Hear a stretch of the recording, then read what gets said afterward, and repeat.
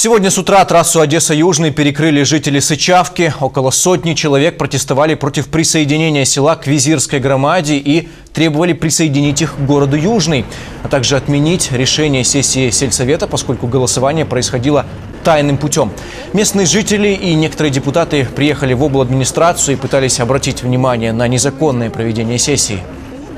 Сообщают внеочередную э, о том, что происходит внеочередная сессия за 8 часов до сессии, а не так, как полагает закон, за 10-20 дней.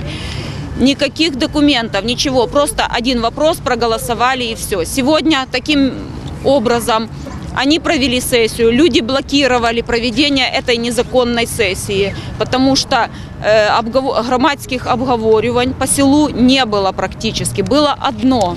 Потом был э, проведен скрытый такой опрос, референдум, куда свозились пьяницы, алкоголики, за бутылку водки, за стакан водки продавали свои голоса. Жители обратились к председателю облсовета Анатолию Урбанскому. Он, в свою очередь, заявил, что облсовет не вправе принимать в этой ситуации решения, поэтому все будет зависеть от кабинета министров. На данный момент он предложил создать инициативную группу, включая делегацию из Сычавки. Но первым шагом все же должна быть подача иска в суд для детального рассмотрения дела. нужно дальше этот вопрос решать. Решать каким образом? Необходимо, чтобы вы создали рабочую группу. Давайте в эту рабочую группу войдет господин Наталуха, войду я, войдут еще э, депутаты профильных э, комиссий по земле и так далее.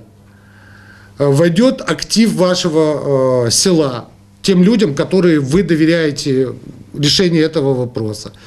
Мы изучим полностью правовую составляющую этого вопроса. Если вы считаете, что это незаконно, у вас ну, это право никто не может забрать, вы обратитесь в в надлежащие органы, а именно в суд, и пусть суд решит, законно это было или незаконно.